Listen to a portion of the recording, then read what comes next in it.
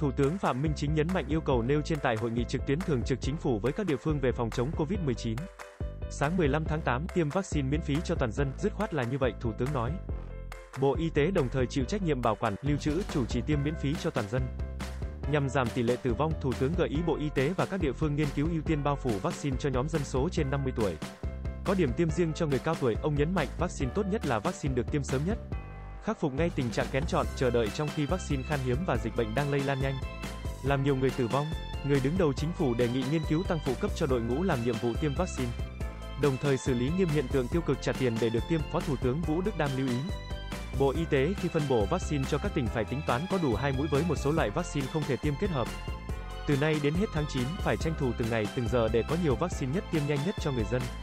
Trước đó, Thứ trưởng Y tế Đỗ Xuân Tuyên cho biết Việt Nam đang tổ chức tiêm chủng vaccine COVID-19 miễn phí. Do đó tuyệt đối không được thu bất kỳ chi phí nào liên quan. Ông nhấn mạnh kể cả tổ chức, cá nhân tự nguyện ủng hộ thì các đơn vị tổ chức tiêm vaccine cũng không được tiếp nhận. Đến nay, Việt Nam đã tiếp nhận tổng cộng khoảng 19 triệu liều vaccine các loại. Cả nước đã tiêm được gần 14 triệu liều vaccine, trong đó 12,5 triệu người tiêm mũi 1, gần 1,3 triệu người tiêm đủ 2 mũi. 19 tỉnh thành phía Nam đã tiêm được 7,5 triệu liều, trong đó 7 triệu người tiêm mũi 1. Hơn 392.000 người tiêm đủ 2 mũi.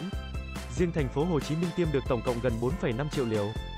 Việt Nam đang thực hiện chiến dịch tiêm chủng lớn nhất lịch sử tiêm vaccine COVID-19 miễn phí. Cá nhân, tổ chức muốn đóng góp cùng chính phủ có thể ủng hộ vào quỹ vaccine phòng chống COVID-19. Ngày 13 tháng 8, Ban dân vận Trung ương cho hay đã gửi công văn đến Thủ tướng đề xuất việc tiêm vaccine dịch vụ cần sớm được nghiên cứu triển khai. Để doanh nghiệp có thể tổ chức tiêm cho nhân viên, điều này không chỉ góp phần bảo vệ sức khỏe người lao động mà còn không để đứt gãy chuỗi sản xuất, cung ứng,